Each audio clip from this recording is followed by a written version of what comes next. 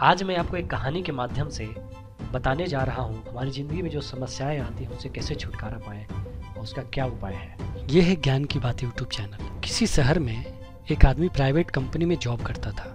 वो अपनी ज़िंदगी से खुश नहीं था। हर समय वो किसी न किसी समस्या से परेशान रहता था। एक बार शहर से कुछ दूरी पर एक महात्मा का काफिला रुका।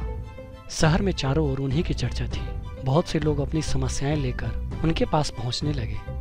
उस आदमी ने भी महात्मा के दर्शन करने का निश्चय किया। छुट्टी के दिन सुबह सुबह ही उनके काफिले तक पहुँचा। बहुत इंतज़ार के बाद उसका नंबर आया। वह बाबा से बोला, मैं अपने जीवन से बहुत दुखी हूँ। हर समय समस्याएँ मुझे घेरी रहती है। कभी ऑफ़िस की टेंशन रहती है तो कभी घर पर अनबन हो जाती है और कभी अपने सेहत को लेकर परेशान रहता हूँ। बाबा, कोई ऐसा उपाय बताइए कि मेरे जीवन से सभी समस्याएँ खत्म हो जाए। और मैं चैन से जी सकूँ। बाबा मुस्कुराए और बोले, आज बहुत देर हो गई है।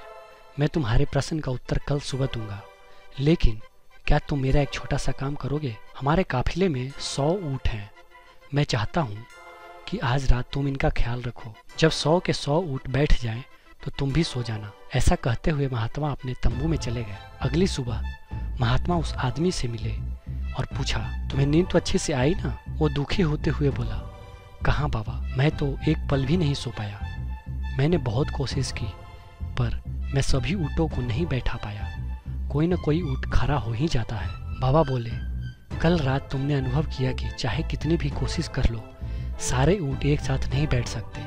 तुम एक को बैठाओगे तो कहीं और दूसरा खड़ा हो जाएगा।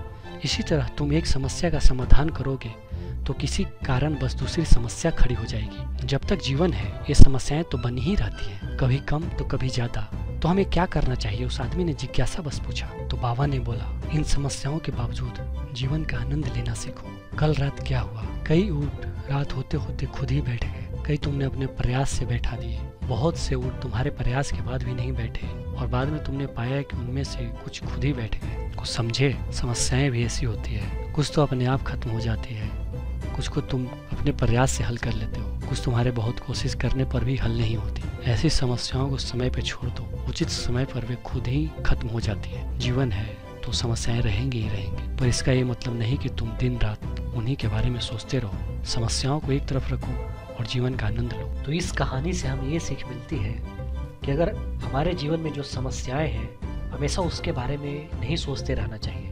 क्योंकि सम, हर समय समस्याओं के बारे में अगर आप सोचते रहेंगे इससे आपका कुछ भला नहीं होगा। क्योंकि बहुत बार हम उन बातों के लिए परेशान रहते हैं जिनका आने वाले समय में कोई मतलब नहीं होता। इस कहानी से हमें बहुत ही बड़ी सीख मिलती है कि अगर आपके जीवन में समस्याएँ हैं तो उससे घबराने की ज़रूरत नहीं है और हमेशा उसके बारे में सोचते रहने की ज़रूरत नहीं है। ये है ज्ञान की बात यूट्यूब चैनल अगर आप इसी तरह की ज्ञानवर्धी जानकारियाँ जानना चाहते हैं तो आप इस चैनल को सब्सक्राइब करें।